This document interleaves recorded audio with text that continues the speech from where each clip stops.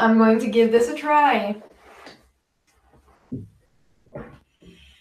So, let's talk about your job today. And the one after that. And the one after that. Having a career in tech is not always easy when you're a woman. So, today I wanted to talk about what it's like in Montreal. Il était une fois euh, une carrière en tech à Montréal. Et nous allons voir en fait la façon dont les femmes et les entreprises et les lieux et le gouvernement ont contribué à changer en fait euh, le, le portrait euh, de notre ville. Par quoi est-ce qu'on commence? Bonjour. Hi. I'm Miriam. Je suis Myriam. Uh, this presentation is meant to be Montreal style, which means that it's going to be a mix of French and English. Uh, en trois ans, j'ai réussi pas mal de choses. Pourquoi est-ce que je parle des trois dernières années? Eh bien, parce qu'il y a trois ans, je suis partie à mon compte, en fait. Et en trois ans, j'en ai fait du chemin. J'ai eu l'occasion d'aider plus d'une douzaine de musées. Euh, J'enseigne à deux cégeps. Je suis quelqu'un qui donne son temps, mais en tant que bénévole, mais aussi qui travaille avec des startups et des incubateurs. Et euh, si vous voyez la petite photo en bas euh, à gauche, c'est bien moi en fait. C'est moi en haut de cette machine parce que j'ai eu l'occasion de travailler avec des bûcherons en région et ils m'ont permis d'utiliser euh, leur équipement en fait. Et c'était génial. Ça, c'est quelque chose que je n'aurais jamais pu envisager faire il y a ben, 4 ans, il y a 5 ans, il y a 20 ans quand j'étais enfant et que je rêvais à, ma carrière d'adulte, à ce que je voulais faire dans la vie. Euh, donc oui, ça va bien, je m'amuse, je travaille bien. Et euh, ça va tellement bien en fait qu'il y a un an et demi, euh, mon conjoint est venu me rejoindre. On travaille tous les deux dans la même industrie et je me suis rendu compte qu'il rentrait à la maison de plus en plus tard et de plus en plus triste. Et moi, ce n'était pas le cas. Alors oui, je ne sortais pas autant que lui et peut-être que c'est ça qui aidait aussi. Mais euh, résultat est que on s'est rendu compte qu'il avait du travail pour deux et euh, maintenant nous sommes un duo. Pourquoi est-ce que je parle de Montréal aujourd'hui? Je ne le savais pas, mais Montréal est la ville la plus heureuse en Amérique du Nord, selon Montréal Blog. Donc bien entendu, quand on reçoit des informations de Montréal Blog, il faut impérativement valider la véracité, chose que j'ai fait, et en fait, on est les neuvièmes dans le monde. C'est assez intéressant parce que je ne le voyais pas de cet œil-là, en fait. Oui, on a des choses qui sont géniales, mais quand on habite dans une ville, on trouve aussi toujours le moyen de se plaindre et de voir certaines inégalités, de voir certaines injustices, de voir certaines choses qui vont un petit peu euh, trop lentement. Et le portrait que je dresse aujourd'hui, en fait, il y a du positif, mais il y a aussi du négatif. La façon dont on travaille change, mais ça impacte aussi la façon dont nos demeures évoluent, la façon dont on envisage nos vacances, la façon dont on envisage nos communautés. Et ça, c'est quelque chose de très important, encore plus aujourd'hui, vu la situation. Um, I basically briefly explained that 30 years ago, my life wasn't like this. Um, I launched my little company. I I became a freelancer, I guess, and in three years, I got to help more than a dozen museums. I got to pose with dinosaurs outside of the museums, actually. Um, I got to play with lumberjack equipment, so that's me up there. And I get to teach at two colleges, and life was going and is going so well that my husband joined me actually, and we became a dynamic duo. So I was saying that Montreal is one of the happiest cities in North America, and I had to check because of the source. And actually, we're the ninth in the world. And that's pretty impressive, except that it doesn't always feel that way. Work, the way we think about it, changes a lot. It has changed in the past few days. And so will our homes, our holidays, and our communities. We're shaking things up. les femmes entrepreneurs euh, deviennent de plus en plus nombreuses, surtout dans l'économie canadienne. Bien entendu, c'est un portrait qui est à nuancer, mais c'est très intéressant de voir que 50% en fait des nouvelles entreprises qui sont lancées sont lancées par des femmes. La problématique, bien entendu, c'est que la plupart des, entreprises lancées par des femmes ne gagnent pas autant. Les revenus ne sont pas les mêmes. Et c'est quelque chose qui est très débattu. On peut voir ce, type de réflexion-là et les études qui les accompagnent dans le dernier numéro en fait de Revue Gestion, la revue de, management de l'école HEC, qui euh, ce mois-ci, mois de mars, est dédiée aux femmes. Donc n'hésitez pas à le consulter aussi, il est très très intéressant. Et Montréal a euh, plusieurs programmes en fait d'entrepreneuriat pour les femmes. Montreal is one of those cities where we can feel that women entrepreneurs have programs, have visibility, there is traction. We can also tell that in Canada, more than, well, no, not more, about 50% of new um, companies launched are launched by women. The main gap that we face is the pay gap, as usual. Our revenues are lower. Mais on voit aussi des évolutions au niveau du financement. Euh, j'étais très surprise de voir en fait que certains blogs euh, locaux que j'adore sont financés par Femmes et Sœurs, qui est un, organisme de financement et d'accompagnement pour les femmes entrepreneurs en fait. Si vous aimez euh, certains blogs, de nourriture dont je ne vais pas parler nécessairement, ils sont financés en fait par ces entreprises-là et d'autres.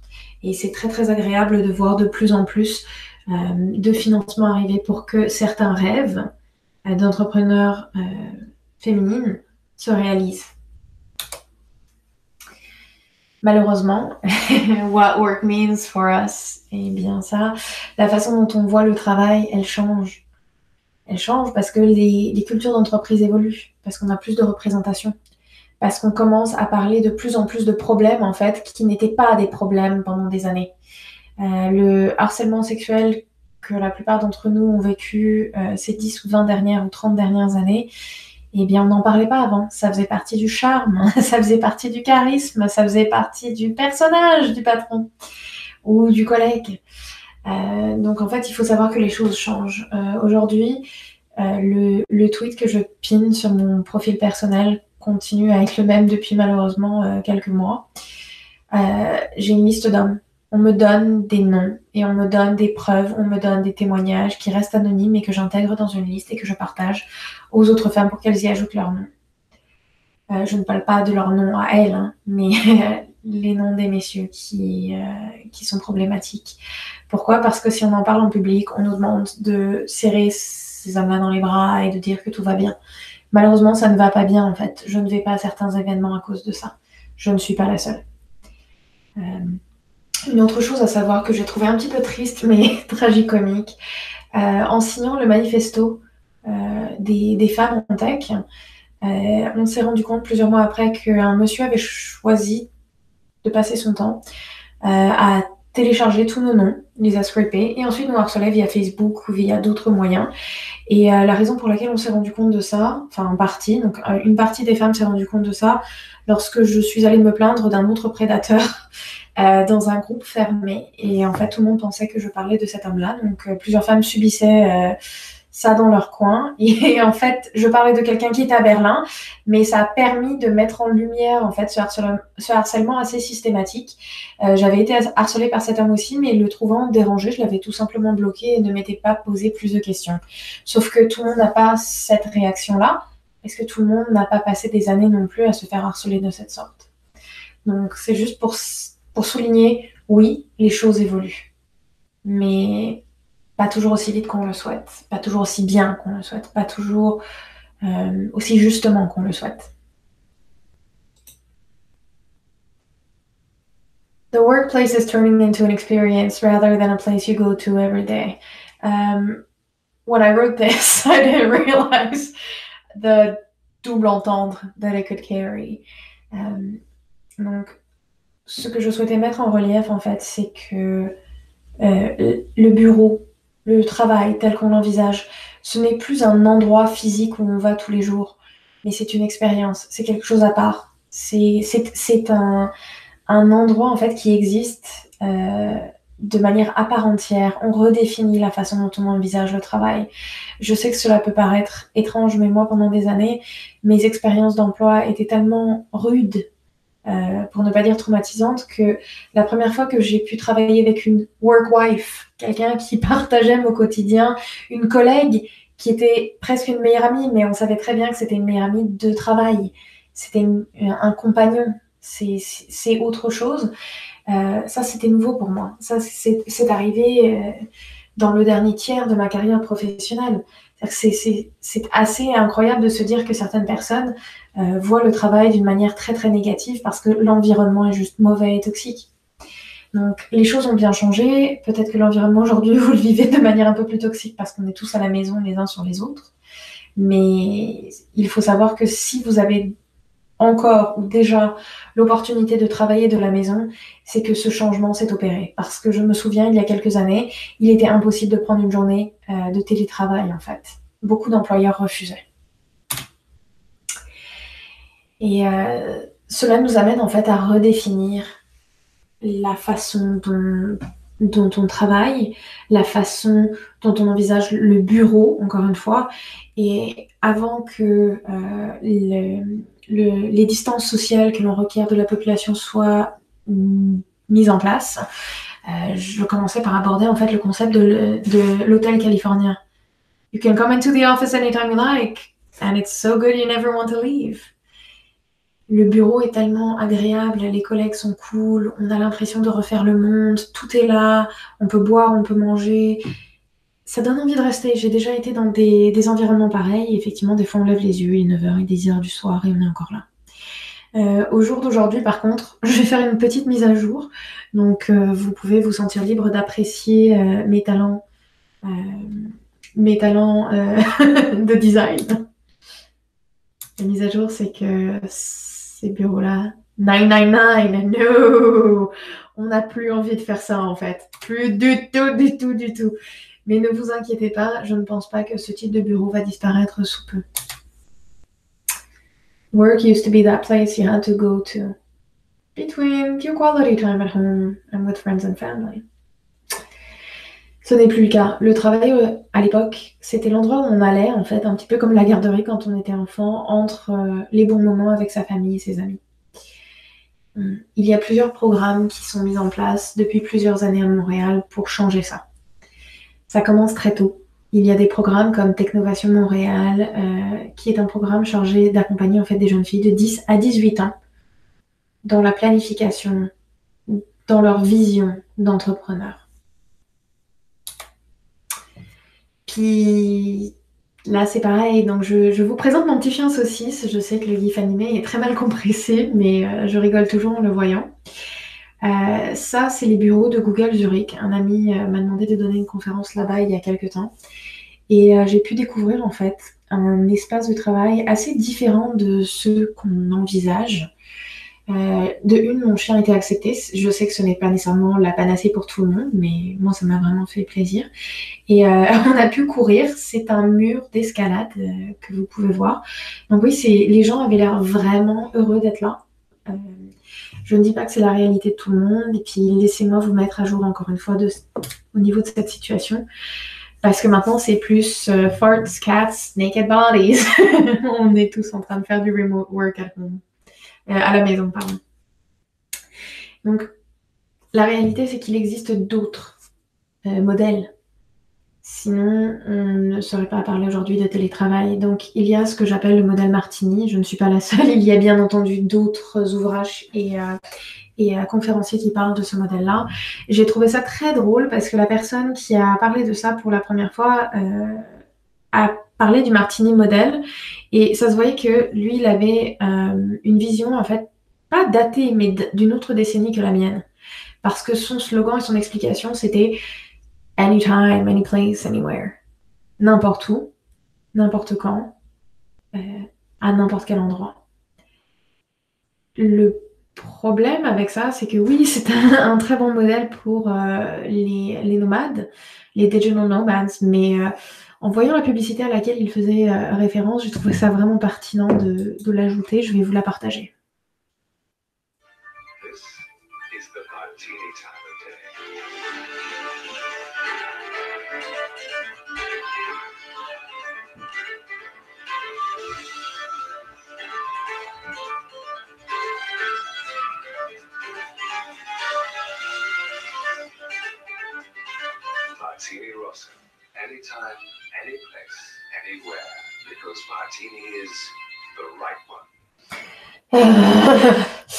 Donc, uh, 80s sexism and the right one. Non, mais plus, plus sérieusement, euh, c'est un modèle qui est assez intéressant parce qu'effectivement, on est capable de travailler de n'importe où. C'est ma réalité, en tout cas, ça l'était il y a quelques semaines. Euh, après, est-ce que je suis euh, d'accord avec le message Martini? Non, j'ai trouvé ça hyper pertinent de, de, voir cette référence, en fait, très datée et très sexiste. Euh, la façon dont j'envisage mon travail, ce n'est pas nécessairement de pouvoir me déplacer n'importe où pour aller servir quelqu'un d'autre ou des intérêts corporatifs. Et ça, je pense que c'est important aussi de le signaler. Euh, la façon dont on redéfinit le travail ici, mais dans d'autres villes aussi où j'ai eu l'occasion de, de, vivre, c'est vraiment de redéfinir aussi quelle est notre valeur et comment est-ce qu'on veut que les gens nous abordent et comment est-ce qu'on veut que les gens nous parlent. Moi, j'aime qu'on me parle comme si j'étais une experte, pas comme si j'étais une femme débutante trentaine qui serait potentiellement une, maman sexy. Euh, pour ne pas dire l'acronyme qui est souvent utilisé. Donc il y a vraiment de belles choses à Montréal qui se passent. Je ne dis pas que je parle de tout, ce n'est pas le cas, euh, mais il y a plusieurs choses qui m'ont marqué euh, en huit ans de, vie ici. Les, les, horaires d'été, j'ai trouvé ça absolument fantastique, je ne savais pas que ça existait dans le monde la location d'un breather. Je veux aller travailler quelque part ailleurs. Je suis pigiste, euh, consultante, n'importe quoi d'autre et je veux recevoir mes clients. Pas besoin de les inviter chez moi, pas besoin de les inviter dans un café. Je peux louer un bureau, place pour la journée ou à l'heure. Euh, les stations éphémères aussi sont très agréables à Montréal. Euh, on espère que ça va pouvoir quand même continuer ce, prochain été. J'aimerais bien aussi parler de What's Up euh, West Island, qui est une entreprise en fait de une hyper locale, parce que la représentation des anglophones dans le West Island n'est pas toujours euh, à part égale avec le reste de, Montréal. Et en plus, c'est une, c'est une femme qui est à la tête de cette entreprise. Il y a une autre femme qui est à la tête d'une autre entreprise que j'aimerais bien citer, Flow, qui flow.ca qui permet en fait de, de, trouver des emplois flexibles et remote il y a le Crew Café et la Maison Notman qui permettent aussi de, travailler de une, mais de deux, de rencontrer d'autres personnes aussi qui sont dans l'industrie. Et ça permet de, faire des belles rencontres, mais aussi d'être flexible avec son environnement de travail. Il y a aussi Temps Libre, qui est très agréable et où je rencontre plusieurs collaboratrices. Et j'aurais bien aimé faire un point aussi sur le fait que euh, être euh, nomade, c'est un style de vie qui est un petit peu un sport euh, à spectateur savoir on prend des belles photos. Moi j'en ai pris pas mal, mais on parle pas souvent du derrière, de ce qui se passe. Donc ça, ce n'est pas le sujet de cette conférence, mais je tenais juste à vous dire, si vous vous dites, oh mon Dieu, j'ai raté ma chance d'être digital nomade et j'aurais voulu voyager, etc. Calmez-vous, vous aurez sûrement l'occasion d'apprendre les, euh, bonheurs et, et, les grosses déceptions et difficultés de ce style de vie-là. Euh, je suis sûre que plusieurs d'entre nous peuvent en témoigner aussi, euh, que ce soit dans l'audience ou dans les conférences, euh, les conférencières.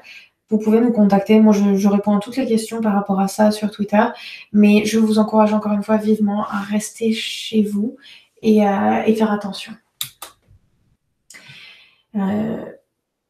comment est-ce qu'on redéfinit le travail au-delà de ça? Comment est-ce qu'on redéfinit le travail au-delà du, du côté de l'amour d'un digital nomade? Bah, moi, de mon côté, en fait, depuis que je me suis lancée à mon compte, euh, j'ai ouvert deux blogs et euh, je, forme les gens euh, à distance. J'ai des clients à travers le monde, principalement le monde francophone, et ça, c'est quelque chose qui me plaît énormément. Et je travaille sur des choses qui sont importantes pour moi. Donc j'en profite aussi pour vous dire, au-delà des blogs, si ça vous tente pas de lancer votre entreprise ou votre blog en ce moment, ou même plus tard, contactez Fondation Montréal Inc. s'il vous plaît. Ils ont toujours besoin de, volontaires qui sont compétents, qui sont développeurs, qui sont rédacteurs, qui sont designers, qui ont une compétence d'affaires. Euh, parce que les, euh, les, entrepreneurs en ce moment sont vraiment, vraiment paniqués et ont besoin d'aide.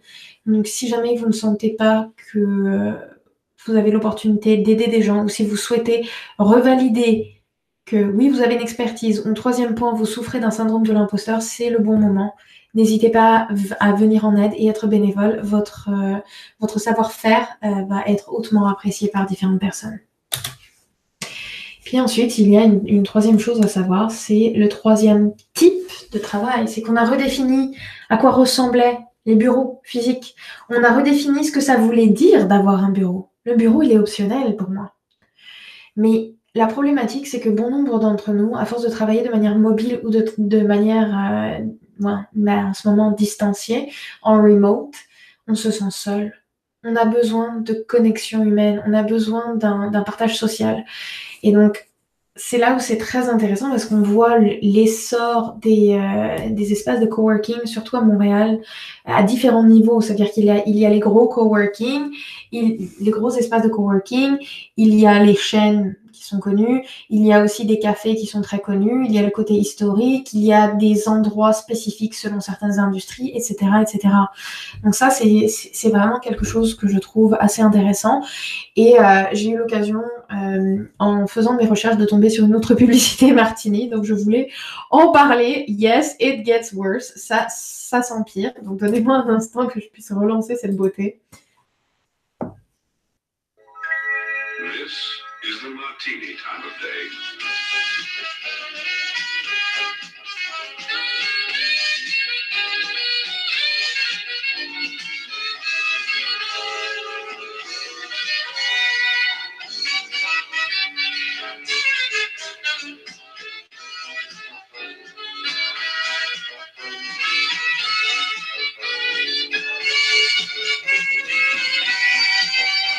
The martini time.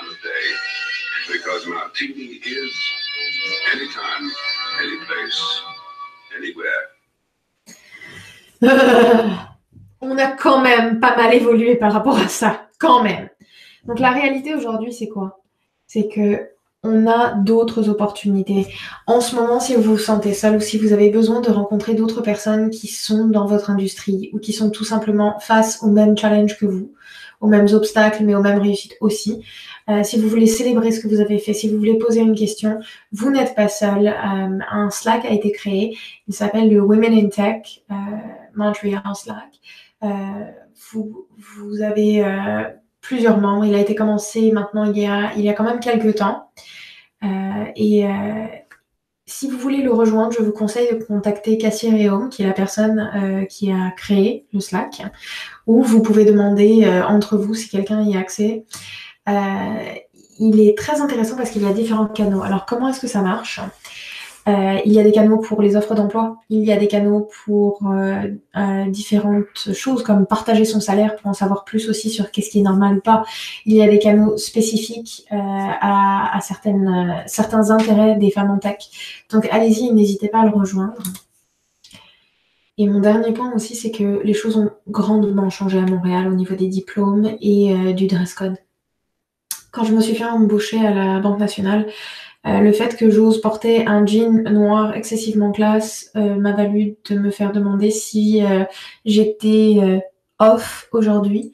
les gens n'arrivaient pas à croire que j'ose venir au travail avec un jean noir. on m'a demandé aussi quel était mon diplôme, ce qui est très drôle parce que mon travail n'était pas enseigné dans les universités à l'époque où on me demandait un diplôme de spécialiste SEO. Ça, aujourd'hui, ce n'est pas nécessairement cette réalité. On voit que beaucoup de gens se font embaucher à la suite de, de bootcamp de développement. On voit de plus en plus de gens qui sont capables, en fait, de suivre certaines AEC, oui, mais euh, mais qui peuvent suivre en auditeur libre ou qui peuvent se former via Udemy ou Coursera et qui sont reconnus quand même dans leurs emplois. Les études ne s'arrêtent pas non plus une fois que le diplôme est obtenu. Donc ça, ces choses-là ont beaucoup, beaucoup, beaucoup changé et c'est très intéressant. Pour moi, c'était très drôle parce que lorsque j'ai démissionné de, de, mon emploi en, finance, euh, je l'ai fait en me teignant les cheveux en bleu fluo. Aujourd'hui, ce n'est pas synonyme d'une lettre de démission.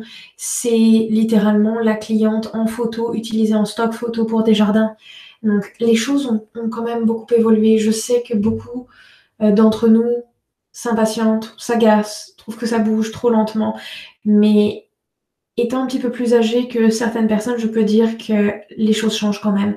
Le but, c'est de maintenir ces changements dans la durée et de construire par-dessus. Nous sommes en train de poser des bases qui vont rester en fait dans le futur et qui vont nous permettre de nous adapter encore plus à, ces changements au niveau de la société. Et quand je dis nous, je parle des humains, pas des femmes. Je ne veux pas que le poids du changement soit supporté uniquement par les femmes et les minorités. Nous pouvons tous travailler ensemble de manière inclusive. Et pour moi, l'accès à l'éducation, c'est déjà un très gros changement. Ça permet d'inclure beaucoup plus de monde. Donc, au-delà de ça, on n'est pas juste des numéros. Il y a beaucoup de, petits, euh, groupes qui se rencontrent et qui échangent leur savoir et qui s'entraident à Montréal.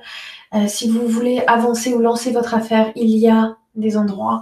Si vous voulez euh, enfin, si vous souhaitez rencontrer d'autres femmes en tech qui sont de la même origine que vous, qui ont le même background culturel, il y a ça aussi, ça existe.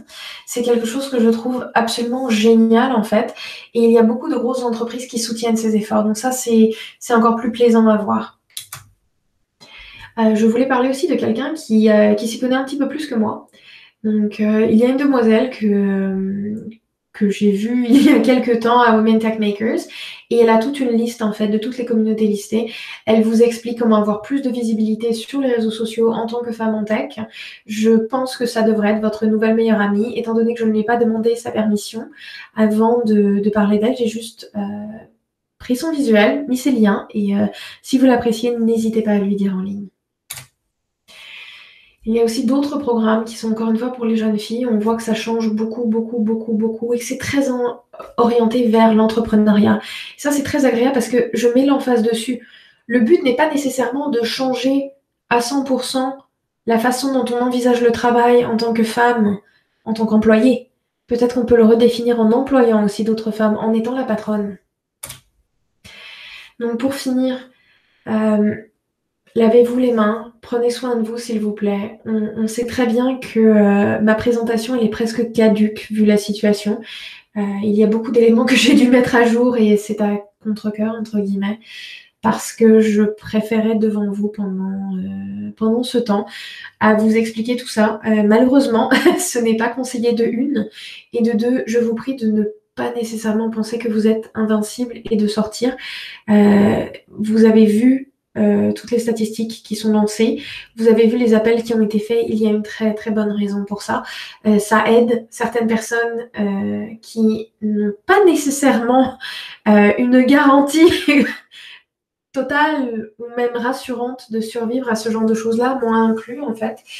vous pouvez prendre le risque d'infecter des personnes qui n'ont pas des organes qui fonctionnent super bien ou qui n'ont pas un système immunitaire qui fonctionne super bien. Donc s'il vous plaît, lavez-vous les mains et faites très attention. Je vous souhaite une très très bonne journée. À bientôt, j'espère, et en physique. Sinon, on se donne rendez-vous en ligne.